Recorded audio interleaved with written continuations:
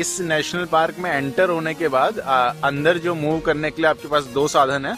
या तो आप इस तरीके से जैसे आप मेरे पीछे देख सकते हैं इस तरीके से कैंटर कर सकते हैं आ, या फिर जो स्मॉल जिप्सी होती हैं वो कर सकते हैं ठीक है?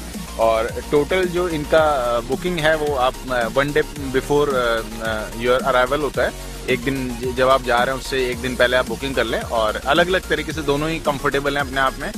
और इस तरीके से मूव करते हैं। अभी तक तो कोई टाइगर दिख नहीं पा रहे हैं। यहाँ पे कुछ मंकीज दिख रहे हैं। मुझे लगता है यहाँ पे सारे कैंटर जितने भी इस जोन में थे, सारे यहीं पे आ चुके हैं। मेरे पीछे देख सकते हैं। काफ़ी सारे लोग हैं यहाँ पे।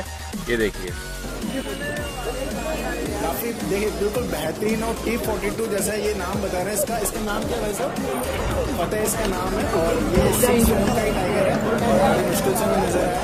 और वाकई में अगर मौका इसे ज़रूर देखें। जोन नंबर सिक्स में अमूमन ये पाया जाता है। ये बड़ा ही खूबसूरत लगता है।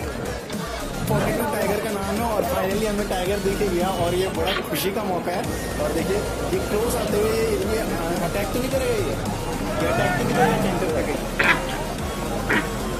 दोस्तों तो ये थी हमारी विज़िट रणथम्बोर नेशनल पार्क के लिए और होपफुली अगर आपको इस पार्क में जाना है तो इसके जो सबसे क्लोजेस्ट शहर है, वो है सवाई माधोपुर शहर और ये जयपुर से 132 किलोमीटर है तो नियरेस्ट जो एयरपोर्ट आपको पड़ेगा, वो पड़ेगा सांगानेर एयरपोर्ट सांगानेर एयरपोर्ट से क्लोज है और यहाँ से जो डिस्टेंस है सवाई माधोपुर जो स्टेशन से आपको नेशनल पार्क का जो डिस्टेंस है, वो 16 टू 17 किलोमीटर पड़ेगा. इसके लिए अलग अलग साधन है जिप्सी या कैंटर अलग अलग चीज़ों से आप जा सकते हैं. और सबसे बेस्ट चीज़ जो इस पार्क के लिए है वो ये है कि आ, सबसे छोटा नेशनल पार्क है इंडिया का तो इसमें संभावना टाइगर दिखने की ज़्यादा है ठीक है? क्योंकि नियरली ये जो पूरा स्क्वायर फीट है इसका किलोमीटर एरिया जितने में फैला हुआ है 1300 किलोमीटर एरिया में फैला हुआ है और उसमें से 400 किलोमीटर ओपन किया गया है। नॉर्मल पीपल के लिए विज़िट कर सकते हैं आप ठीक है? और इस पूरे नेशनल पार्क में जो 400 किलोमीटर है उसके 10 जोन डिवाइड किए गए हैं और 10 जोन में आ, हम लोगों ने जो विज़िट किया था वो सिक्स जोन था। लकीली जो जोन होता है जिसमें टाइगर दिखने की संभावना ज़्यादा है वो होता है वन एंड थर्ड जोन क्योंकि वहाँ पे लेक वगैरह या पानी का एरिया थोड़ा ज़्यादा है तो टाइगर दिखने की संभावना थोड़ी सी ज़्यादा रहती है ठीक है? बाकी अगर आप विज़िट करना चाहें तो आप ज़रूर विज़िट करें।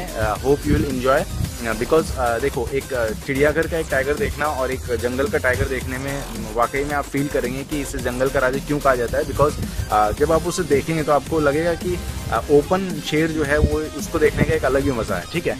तो hope you will enjoy this video आपने इन्जॉय किया होगा और अगर आपको पसंद आया तो प्लीज़ लाइक एंड शेयर करें. Thank you so much love you all